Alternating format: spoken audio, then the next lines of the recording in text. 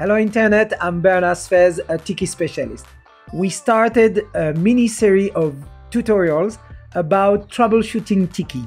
Uh, previously, we've uh, seen together how to check the server settings. Now we will check together how we can check Tiki settings. So let's start on a brand new Tiki.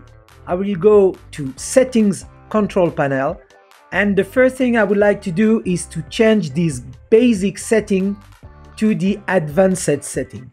Now that's not enough. I need to set this as my default. Let's start by adding some feature like trackers, forum, uh, I don't know, uh, newsletter. Yeah, that's good enough. I apply. We have a tool in Tiki in the profiles that help to understand what was changed. If I go to profile tab export, I can see the actual Tiki preferences.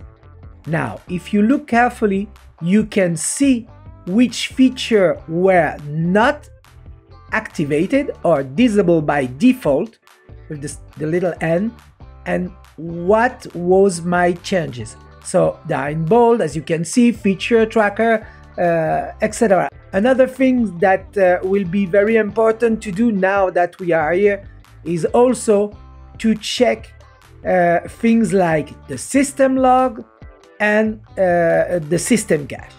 So clear all cache. When something is not going as you expected, do that first. Another thing that we, we've seen there, going back to the settings control panel, is the, uh, the system log. Okay, uh, now, my log is very limited and nothing very abnormal here, but you may found uh, a database error or uh, um, some warning about uh, a setting that is not performing as expected. So I hope you enjoyed the video.